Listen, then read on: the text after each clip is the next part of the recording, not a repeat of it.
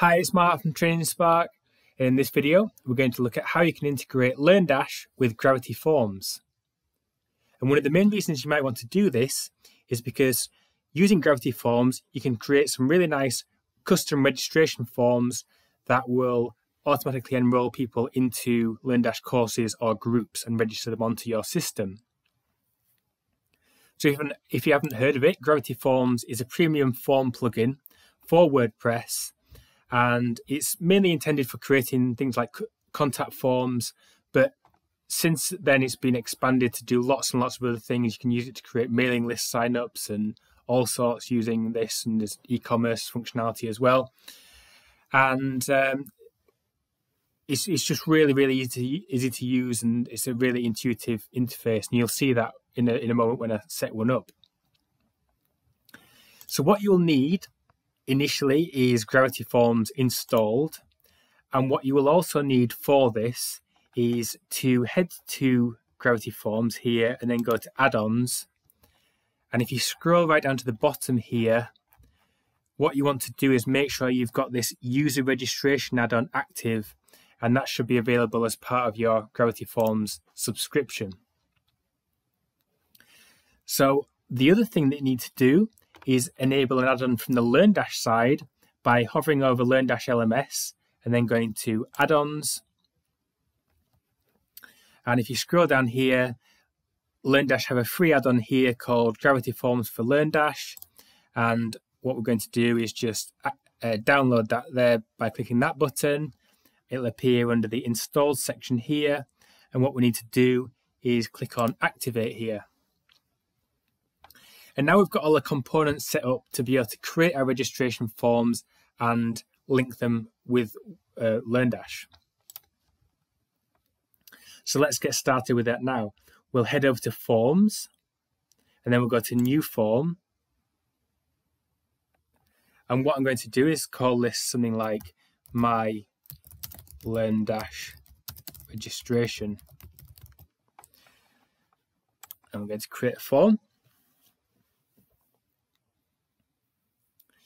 Now, the great thing about Gravity Forms is it's it's a drag and drop builder. So what you can do is, uh, yeah, drag in any of these options. You know, you've got the option to create your own forms with things like, you know, certain uh, form fields, text fields, number fields, checkboxes, radio buttons, and it's really really powerful. But the ones that we're going to look at here will bring in name, and that'll capture the first and last name we will capture their email address. And perhaps we will also i mean we could add in a username field as well if we wanted but what i'm going to do as part of this is just use their email address as the username. We can add a password in for them to set their own password. And you know, we've got other things here. So maybe I'll add something like website, you know, just to capture a website. I mean, this is just a, an example. And what I'm going to do now is just click Save Form. So we've created a basic form here. And now what we're going to do is go to Settings. And then first we'll just have a quick look at form settings because there's a few different options we can use here. We can change where labels are placed and things like that. But uh, one of the things you might want to do is enable some form of spam protection. And you can link this with Google's reCAPTCHA uh, if you have an API key for that.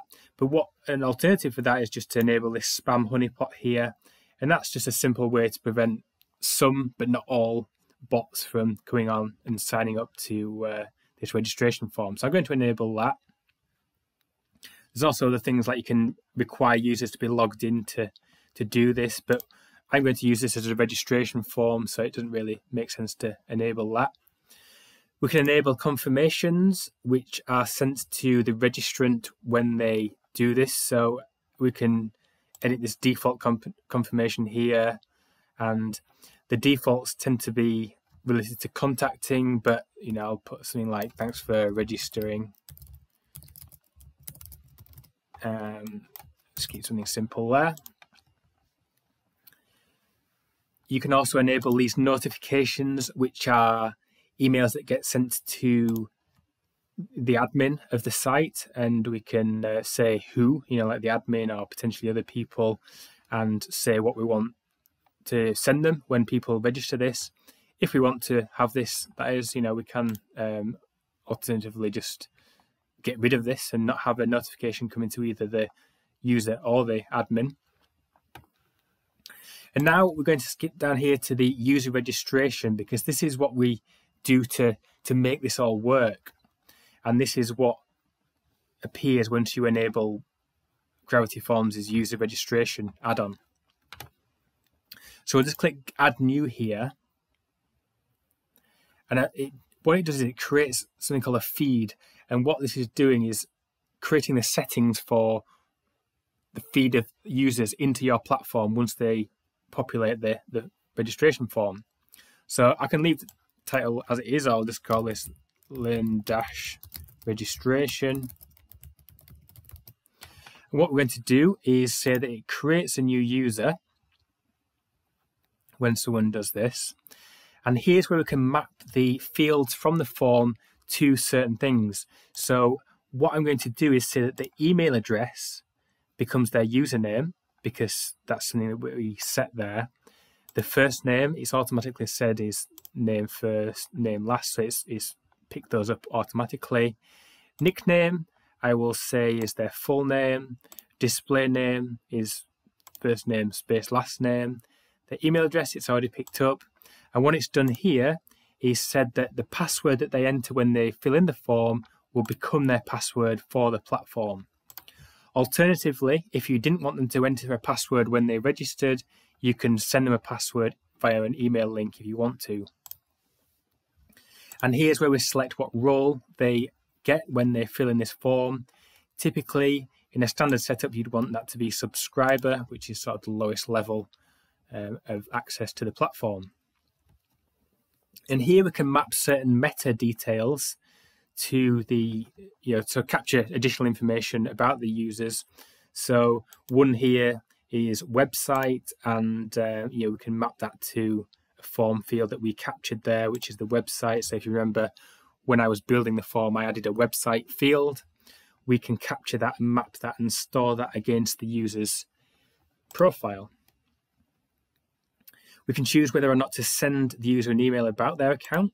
I'll just tick that and say, you know, it's emailed from WordPress. We can set it so that any new registrants have to be activated if we want to. And what this is, is it, it would require a admin to approve any new users registering this form. Or you can untick that altogether and just make it so that it automatically creates an account and there's no intervention involved from an admin. So it would instantly create them an account as soon as they register.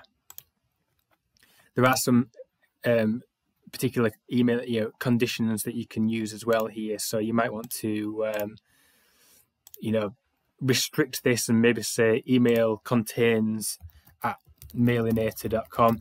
And what this would do is just restrict that. So if you knew that you were expecting a number of users from a certain company at acmelimited.com, you could use that to um, you know restrict uh, users and, and only allow them if they have a certain domain in their email address. So I'm just going to enable that for now and keep that as emails only are only allowed if they contain at mailinator.com. And here's where the LearnDash bit comes in. So we can choose whether this is a paid form or not. Um, and this is, relates to, uh, you know, if it's a link to a paid paid course, I think. But this is where you can choose what courses people get enrolled onto. So I'll just choose a couple here. You can also add them to LearnDash groups as well, you know, just by choosing them from this list. So what will happen if someone registers using this form is it will create them an account and automatically enroll them onto these two courses. So I'm just going to save the settings now. And the way Gravity Forms work is you can now embed these onto a page. So I'm just going to create a new page here. And I'm going to call this when it loads uh, LearnDash registration. And here, you know, if you're using Gutenberg, you'll have the option to go like this and open that and just search for Gravity Forms. And then you can select which form you want to embed here. And I'm going to choose this My LearnDash registration form here. And you can see that that pops in and we've got all the fields there. And all I'm going to do now is click Publish and our form has now been created. So let's give that a go now. And what I'm going to do to test this is just open a new private window. So it won't, it'll, it'll be as if I'm logged out. I'm going to put in, um, you know, John Smith, John Smith learn dash test one, two, three, four at mailinator.com.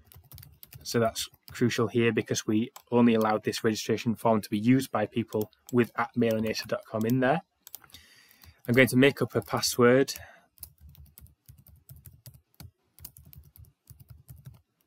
And I'm going to enter just a random email, uh, website here. And now click submit. I should have pointed out you can actually um, change the uh, title of that button. So register would probably be a more appropriate title. But now we've um, got that created. So let's just head to mailinator.com and just see what email addresses, emails we received there. So we've got something there just saying we've got our login details and information about how to, to log in. So if I go to the login now and enter this, we should find that we can now log in. And if we go to courses, we have access to those two courses that we specified as part of the registration form. So I think that's a, a really neat and easy way to create forms, uh, registration forms for your platform. Sometimes the ones that come with LearnDash and the process for creating those is a bit clunky and um, you know gravity forms you saw there with that drag and drop editor just made things so much easier. So i hope you found that useful. And if you did please give the video a like. And if you'd like to see more like this please subscribe to the training spark youtube channel